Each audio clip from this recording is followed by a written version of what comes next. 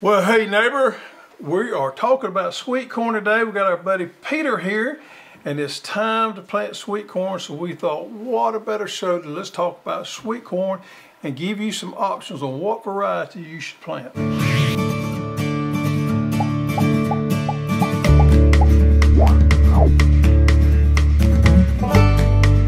Well, it's been a little while, Pieter. Glad to have you back. Glad to be here, Yep. as always.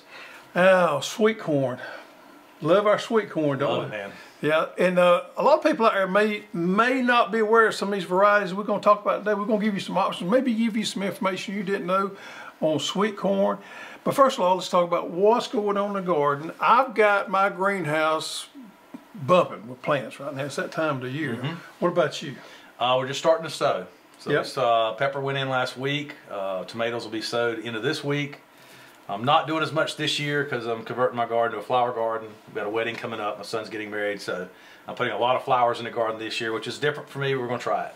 So you're doing a wedding theme garden. Well, I'm doing uh, flowers that can be used at the wedding. Yeah, zinnias, um, a couple other things, cosmos. Got some seed from y'all, and I'm looking forward to that. I'm going to try sunflowers, never grown sunflowers. Some of it's for nematode control. It's going to be a side benefit, I hope. Yep. So the, the sunflowers is going to be a timing thing. If you can pull that off, you'll have it perfect. But those can be a little tricky. Yeah, I'm going to do multiple plantings and Yep. see what happens. But you know, it's interesting. A lot of people are doing wedding gardens nowadays. I mean, they plant in their garden around the wedding, which is is kind of neat there. Well, gi- you know, given cost of flowers and, and tabletop bouquets and that sort of thing. uh, Yeah. we'll see. And it, you know, um, it's going to be an outdoor wedding, so uh, we'll see how it goes. I'm, I'm excited about it in a way. I've never done an only a flower only garden, so And you know, you've mentioned before you have a lot of problems with nematodes in your garden. Yeah, so this is going to it's going to help starve them out a little bit, give some rotation there. yeah, that and and the fact that I'll be done early enough. I'm gonna I'm gonna attempt to solarize the garden in August. Mm-hmm. So uh, the wedding's in July. I'm hoping sometime in mid August. I'll get everything out of there, uh, till it, solarize it, and and in addition to all the the the flowers in there, I'm gonna try to do a, a pretty aggressive solarization in there. You know, we talked about a little bit earlier. There's a lot of work being done on peppers as far as nematode resistant Mm-hmm. varieties on peppers, which is interesting. Yeah, it's existing in tomatoes for a while. People have had that option for a while. It's not as widely uh, distributed in germplasm for tomatoes, I mean for peppers, but we're getting there and uh, as we get closer and, and are able to, to really articulate that to, to home gardeners in particular fighting a problem like nematodes, there'll be a nice one-two punch being able to put a solanum crop like a pepper or a tomato out there to take care of uh, a problem like nematodes. Yeah, I, I mentioned to you earlier, you need to be working on the okra uh, nematode Yeah. resistant variety. Don't, don't hold your breath. Don't hold your breath. Okras are our, uh, it's probably our worst crop for nematodes around here. It's horrible. Yeah, I do think we're getting close to a point though where if you if you got enough a scale enough of a garden, you can plant a year ahead. You could put your okra in a spot where you had a nematode resistant product or variety the year before, And control it. and at least get much more productivity out of your okra for longer. Right. Yeah. All right, so we've got a couple things we've got to cover first before we get into the sweet corn, but the sweet corn thing's going to be good. Turmeric, we got pre-order on turmeric. You ever grown turmeric before? not. We got turmeric uh, available, so that's going to be shipping around to March 15th. Sweet potatoes pre-orders, we got those. If you hadn't ordered your sweet potatoes, go on there and get that done. And we've got some Tom multiplying onions. If they're not sold out, we dug a few this week, so check it out. If you want some of the Toms, I know a lot of you have been waiting on the uh, Tom multiplying onions, and we got a limited supply. So check that out if you hadn't already bought them. And we have got, oh, one more thing, plants. We're gonna have pepper plants and tomato plants, we hope, the second week in March, somewhere around the 8th to the 13th there. You know how live plants are. It's hard for me to tell you exactly because they are live plants. We've got to grow them out. But it's looking like we're going to have them available around the um, the 13th, maybe the 8th night, somewhere in there. So we got the Halsa native bell pepper, jalapeno pepper, we got banana pepper, we got some good tomatoes there. But, folks, we have got knife of the week. It's a little segment we started doing a, a few weeks ago. And Pieter, I know you love knives like I do. do. That's a nice one. Yep. This here, folks, and this is the usual, so don't judge the looks of it here. This is Essie, E-S-E-E. And this is a brand I probably wanted to, when I got into knives real heavy, this is probably the brand I got into first. It's a great value knife right there. Most of their knives are 1095 carbon steel. But they starting they starting to get into some more steels. But the older knives were all 1095, which made them very affordable, made in the USA, which is important. But it's more of a camping knife. I, me personally, I don't like a spine that thick for a skinning knife. I agree. I agree. But this is more of an outdoor knife. Yeah, I think it's marketed more as a, Yeah. trail knife, stuff like that, Right. Camp, camping knife. Great value on these things right here, made in USA. And this particular one, most of them come with Kydex sheaths. This one does as well there. So if you check SC Knives out, if you're interested in fixed blades, I don't think they do a folder, but they got several different models, all the way from little bitty knives up to the six. I've actually got one of their six inch knives. So SC. What is uh? What's your favorite brand? Uh, probably uh, cold steel. Really? Yeah, I find that interesting. yeah. I've uh, had a cold steel Master Hunter when I was in college, and uh, it's my, been my favorite. It's probably my favorite overall knife, Hmm. Particularly for hunting purposes. They've been around for a long time. They're based out of California though. yeah, and uh, We can hold that against them. yeah. Still a good. They got good products. Yeah, they Uh, do, and affordable too. That's Generally speaking, problem, yeah, yeah. They got some. Uh, probably have half a dozen of their stuff. Why would you want to grow sweet corn? Well, sweet corn is one of those is one of those that are actually delicious, but they're not the easiest to grow.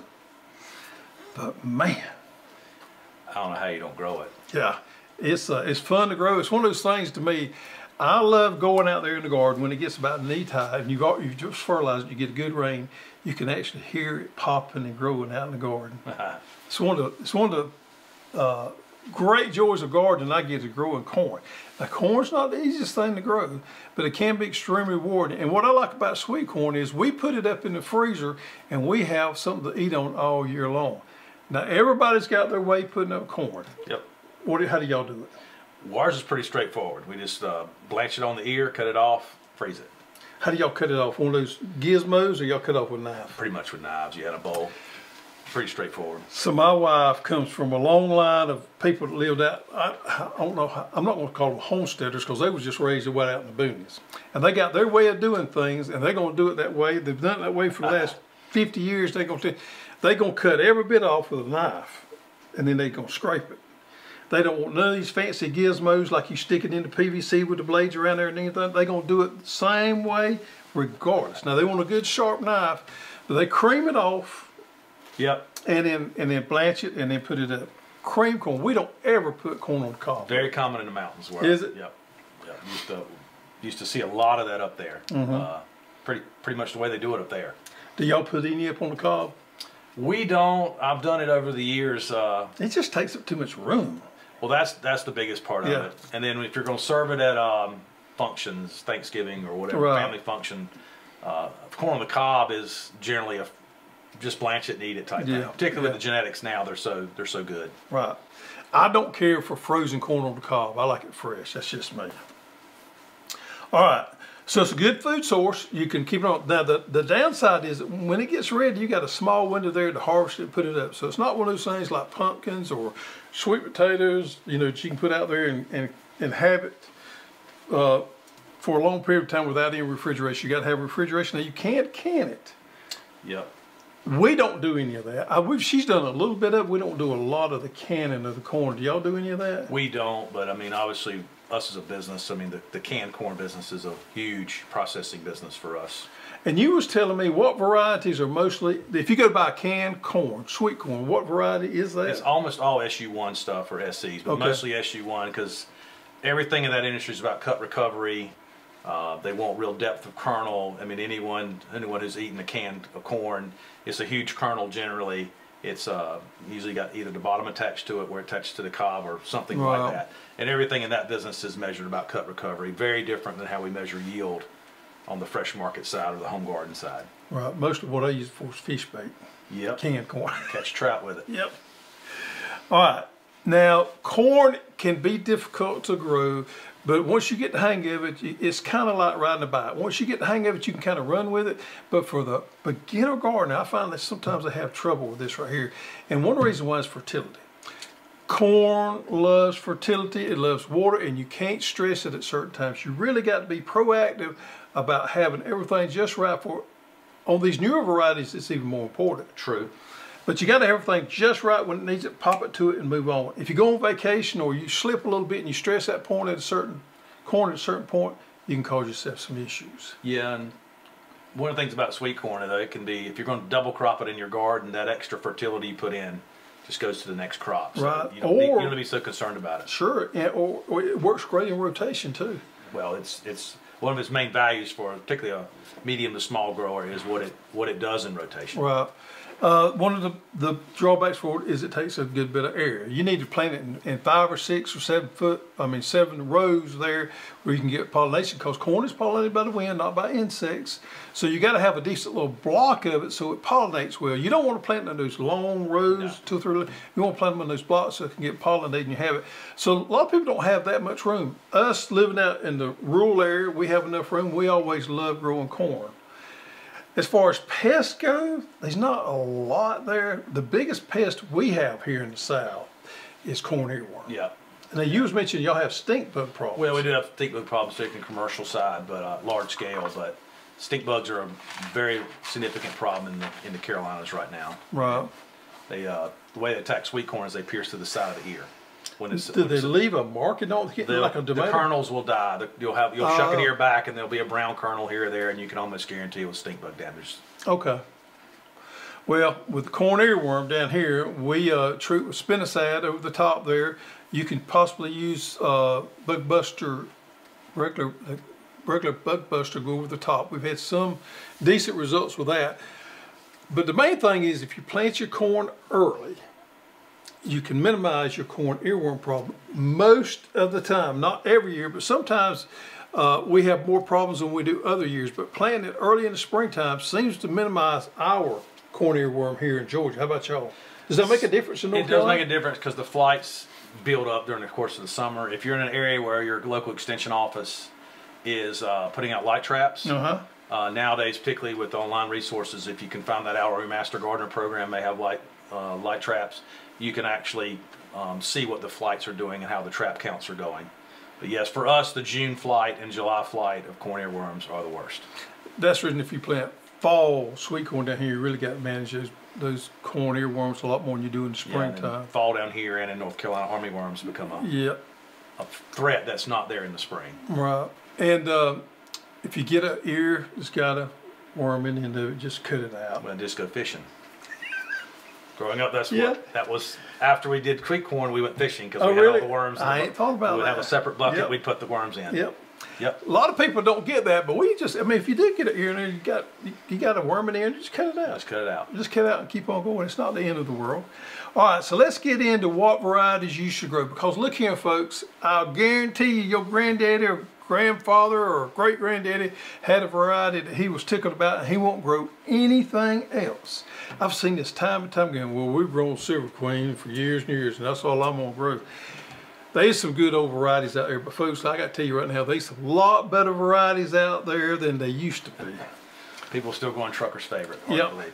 So of the heirlooms, now the only heirloom that we carry is Stowell's Evergreen, but True Gold is another one. Do you remember that one? True I, Gold? I've heard of it. I've never seen it. G90 and Silver Queen are the two that I'm still see occasionally. Right, and the Golden Cross Bantam was a uh, was one I've never I've never grown that, but I've seen it and doing some research. That was a variety that you come across a lot of people you grew way back in the day.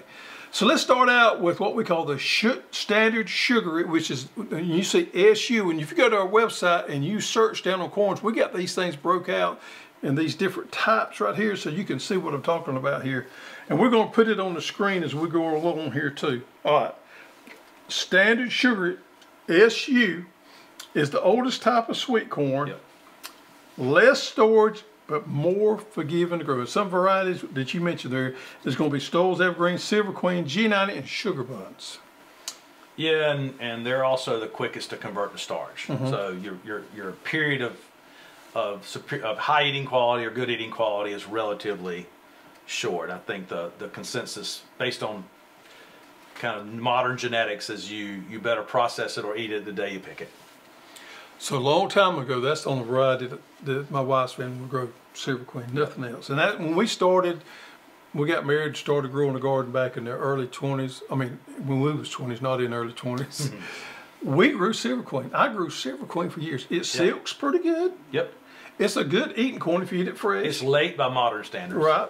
And uh, we would put it up, but what we would do, we would gather it that morning and we would cut it off that day. Did it all in one day's time. Pretty decent corn. Yeah, it's it's uh in North Carolina. If you go to the farmers markets, most of the time you'll see Silver Queen, but it's not Silver Queen. Oh, it's not. It's become a kind of like a generic name for white sweet corn. Right. Very right. very little commercial guys, even smaller guys, farm market guys, grow Silver Queen. We're seeing a lot of people transition away from it. So that being said, I understand your heritage with that, but as we go along here, keep in mind we're starting off with these issues and we're going to move through and we're going to give you some varieties that we think are a lot better to grow. So let's move on to what we call sugary enhanced. And this is going to be the SU, excuse me, SE.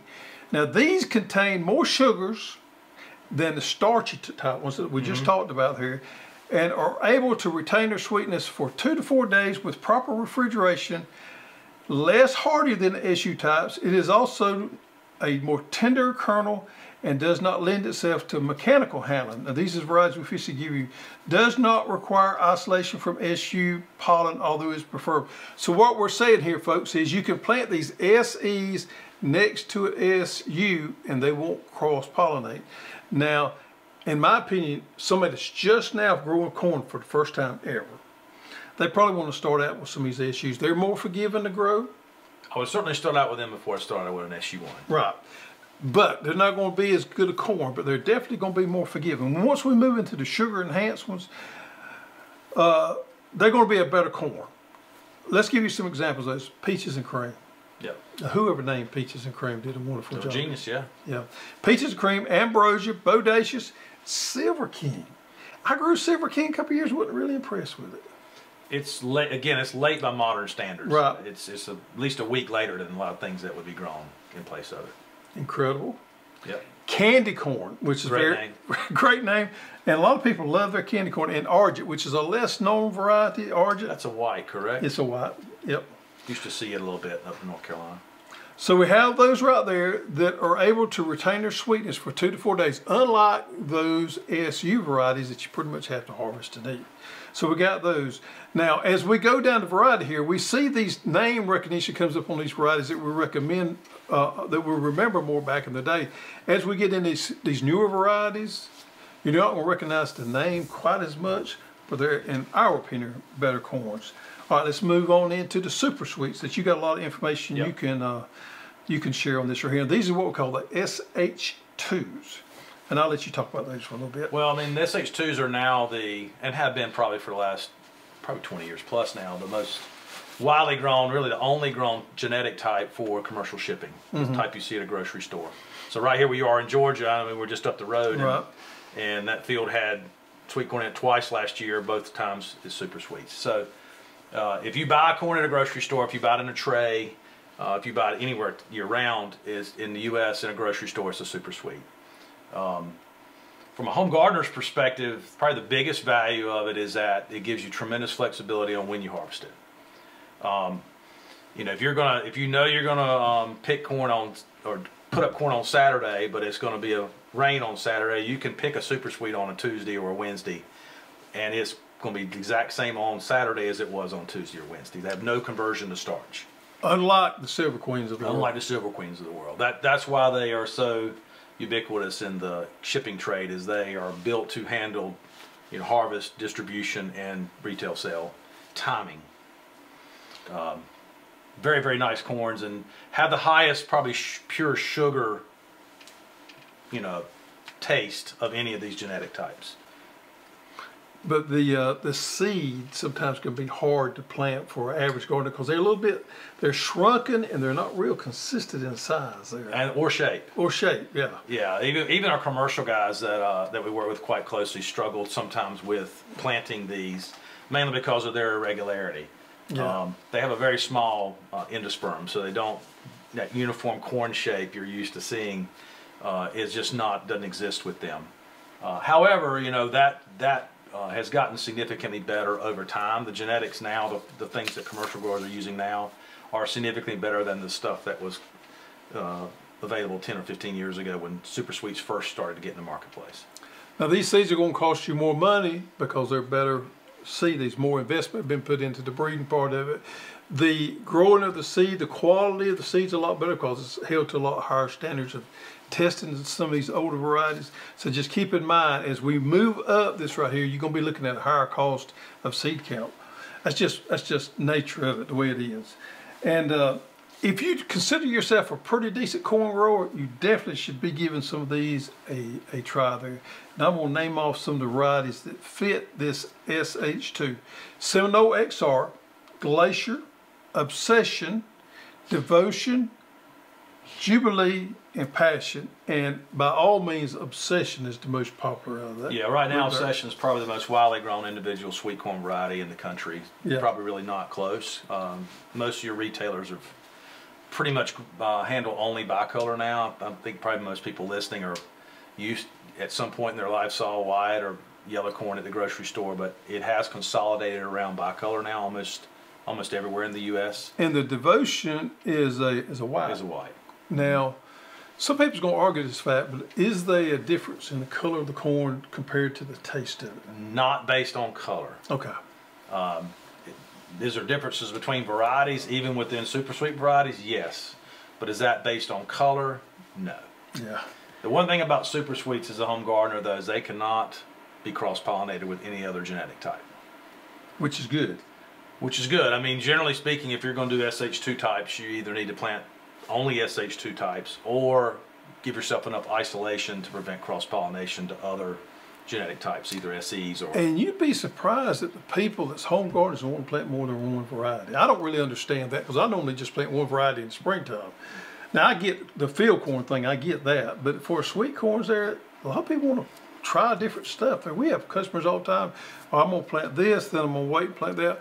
Well, give yourself a, a window there of sta- staggering it so it don't tassel at the same time. That'll Yeah. take care of that problem as well. Generally, two weeks is the mark we use. Right. All right, so now we're gonna move into something that's a little bit different. We don't see a lot of these. These are the augmented super sweets. This is the SHA. And this is not real popular. There's some of them out there, so I feel like we need to talk about it a little bit. Now these combine multiple gene types on the same cob Correct.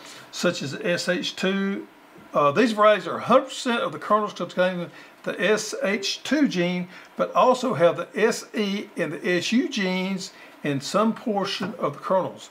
So you get a collage of those different type kernels with these uh, these ones right here.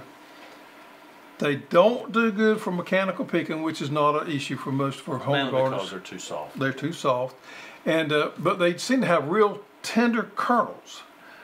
And uh, as with any other sweet corns, these varieties must be isolated from the SUs, SEs, and SYs to keep from cross pollinating. If you want to keep them two of there. Now, three of these names, these are here is Nirvana. Nirvana, am I saying that right? Nirvana, yeah. Yellowstone and Eden, with some of the lesser known varieties, but it's definitely uh, definitely some a lot of people like to plant out there. Now this last category here, they seem to be more more popular, and these are what we call the synergistic SY. All right, these synergistic varieties combine different genetics on the same area as well. The first varieties developed these type have 25% of SH2. I know this can get confusing here. 25% of SH2, 25% of SE, and 50% of the SU kernels on the cob, but now different combinations are possible. These, uh, I got my glasses on here. There's an increasing number of brand names and trademarks that cover specific genetic com uh, combinations under this right here. A common trait of all these right here is that isolation from other SU and SE varieties pollinating at the same time is not required, though isolation may still be recommended for maximum uh, sweetness. Now I'm gonna name off some of the varieties right here. It's Honey Select, Temp Temper Temptress, Serendipity, Primus, Avalon, and Providence. Have you ever grown any of those? I've never grown any of those. They're not they're not able to be grown in the commercial space, really. Honey Select, I grew probably three or four years ago. Oh man, it was really sweet. Boy, it was sweet. It was so much different than what we used to be growing in the past. I didn't wasn't real crazy about it. It was almost like candy. It was so Yeah. sweet there. Uh, it grew out fine. I did wonderful with it, but the flavor of that, but we wasn't crazy about it. But somebody that's never had some of the other type that grew up on it would actually love the younger generation Oh, yeah. because it's so sweet. Yeah, these are fairly predominant in roadside stand production in Midwest and Northeast. They're, Right. they're an increasing part of that that that business. Serendipity. Seen it, don't know much about it, but Yep. I've seen it. Yep. The honey, Avalon's a white, correct? Avalon's a white. The honey select's a yellow. And Providence is a yellow. Yep. Yep. So those are some good ones right there that you may want to try there. You know, try it see if you like it. If you got some people that's never eat much of the Silver Queen, they're probably gonna love it. It's very different for sure. What what where do you tend to be on your on what you prefer as far as a home garden? What would what's your choices there? I think it really depends on what um, what you're trying to do. If you're, uh, we've only put up the super sweet types, but some of that's because they're they're our genetics and I have access to them. Um, I've eaten a lot of I've eaten enough synergistic stuff to know it's good. Yeah. Right, um, it's very good. I there's very little SE and SU1 grown anymore. I probably wouldn't grow those, um, mainly because it gives you zero flexibility on when you when and how you put it up. Mm-hmm. Uh, you have to kind of do it when the corn's ready, not when you're ready. The super sweet types, the synergistic types, they give you enough flexibility uh, in terms of schedule. If you're if you're a working person and you you can only put corn up on the weekend, but your corn is ready on a Monday or Tuesday, and maybe you can harvest it but can't process it. The super sweets and the the uh, synergistic types are going to give you the best chance of putting a good product in the freezer or in the. But you know, one thing that I've noticed too on some of these, especially the SH2 varieties, these are lar- larger harvest window. That's the whole point. The, Yeah. the, the harvest window course. Not only will the they window. store, but their harvest window is a lot They have zero conversion to starch. So every other type on here that contains either SU or S, SU1 or SE kernels, that conversion to starch starts immediately after you pull the ear. Right. The super sweet types, that conversion never happens. So they will they will decay actually still being sweet. That makes sense. They never convert their their sugars to starch in the kernel. On these SH2s, I've seen as long as up to 10 days as far as the harvest window there, if the Oh, yeah. weather's right. Yeah, I think I think the the, the all these sweet corns, if you err err on the side of being late than early, because there's nothing worse than harvesting an ear of sweet corn that's not sweet, and most of the time that's because you've harvested it too early. Right. Um, that's the other beauty of the super sweet types is if you have to wait till the next week to process the corn, because you don't want to harvest it early, they will hold uh, longer uh, in the field and in the and in the cooler or in the refrigerator or wherever you're storing them. Yeah, you got a little different uh, flavor profile with those. Uh, uh, probably more sugar, less corn. Right. Than the other types. If you go back to the SU ones, it's more corn, less sugar. Um, and then you get to the, the synergistic or augmented, it's sort of a blend of that. But as you go up the scale of, of, of uh, genetics in terms of uh, to super sweets, you lose more corn, you gain more sweet. So the end of the day, folks, if you're just starting out growing corn, maybe start out with some of the cheaper seed type varieties, Silver Queen, things like that. It's going to be very, very expensive to buy those seeds there. Start with those, very forgiving. If you're an experienced corn grower or, or you think you get it down pat, by all means, try to move on up to some of these SH2s or, or some of these synergistic type varieties. I think you, I've never heard nobody switch to them that backed off of them. No, the conversion, uh, the conversion at home farm stands, roadside stands is 100% now. You Yeah. pretty much see no SEs, no SU1s Right. by any sort of commercial producer anymore. It just to, not enough flexibility in those genetic types for, for anyone that's in the commercial space. So what about isolation? Right, so some of you guys are growing field corn and you're growing your sweet corn, you do have to worry about cross pollination between sure. the sweet corn and, and this information I got right here, we got off the UGA site. I believe you sent me the article mm-hmm. on that right there. So I'm gonna read this to you. Isolation is necessary to maintain kernel sweetness and color. All sweet corn varieties should be isolated from field corn by 250 feet or 14 days difference in pollen shed, and that means tasseling. Isolate shrunken two varieties from standard and sugar enhanced types to minimize starchy kernels. Why would you want to plant them if you're going to plant them together? They're going to cross pollinate. Yep. So that's the good reason to uh, keep them isolated. While isolation of sugar enhanced from standard types is not necessary, it does ensure full full expression of the different sweetness characteristics of the variety. So there you have it, folks. 250 feet or 14 days in tassel. As you mentioned a while ago, two weeks. Two weeks. Yeah, it's pretty standard rule. Yep. All right, folks. There you have it. Corn. Got to grow corn. You'll you'll be so proud that you did. If you got room for it, get it under control. Now, one thing I need to mention here is water requirements. When that corn goes to tasseling, Make sure it's good. make sure you got plenty of water to it. If you ever see that, that leaf twist up, you've waited too long. We were using drip tape last few years, and I don't ever let my corn twist. You know that leaf twist around right there. Don't do it. So uh, and when it's when it's tasseling, man, we keep it wet because you want that ear to fill out there at that point. Yeah, one of the common questions I'll get is about tillering, the side shooting. Mm-hmm. Uh, and should you go in and prune those off? And no, uh, No. actually, I think for most home gardeners, farm stand people, they leave them because that, that tiller will produce a produce a um a, a tiller or produce a seed head or a flower head, sorry, a tassel, and that will provide additional pollen. So unless it just gets too far out of hand, I generally tell people don't worry about Just leave it alone. don't worry about tillers. Just leave them on the plant. You know, we, we always get these questions during quarantine where they don't fill out the detail. They maybe just fill out. What what's the most common problem with that? Do you think? Well, there's several. If, if it's a tip issue, a lot of times you've had a corn earworm that snipped that that last tassel or last silk. So the silks emerge from the bottom up. So the last silks to emerge are the silks that are for the tip of the, the ear. top. Yep. Uh, and so either your pollen's no longer there, it's gone, or you've had insect damage to those silks that won't allow the, the pollen to, to go down and, and, and fertilize.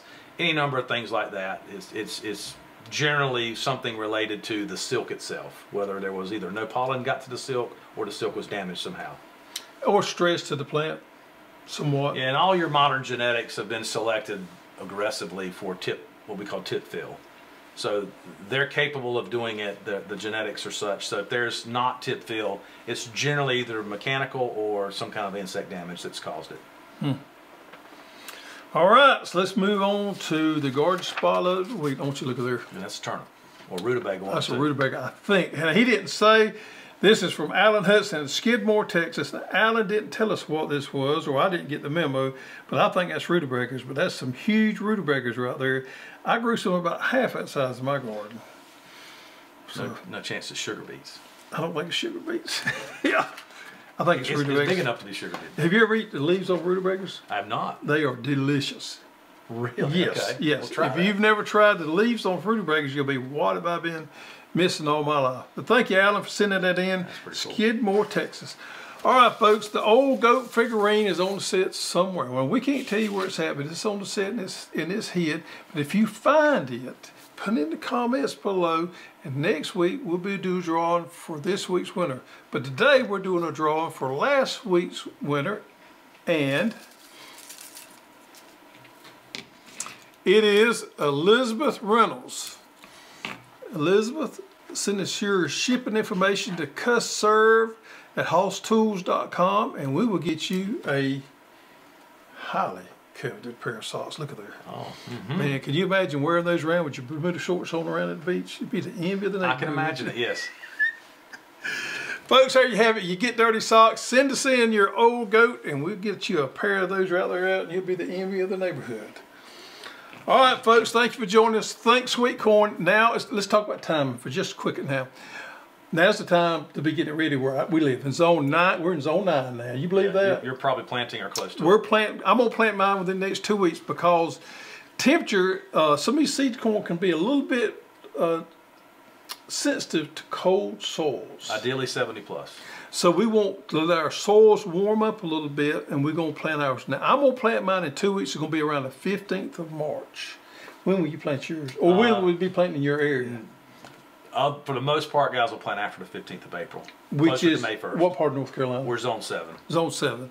So y'all about a month off from us. almost a complete month back. Okay, yeah. So we get ready to plant your sweet corn. I think you'll be glad you did. You'll have plenty to eat, share with your neighbors, and you'll have plenty to preserve and put up. Thank y'all for joining us. Thank you, Pieter, for Thank joining you. us. Yep. Now it's time for you to get outside and get dirty.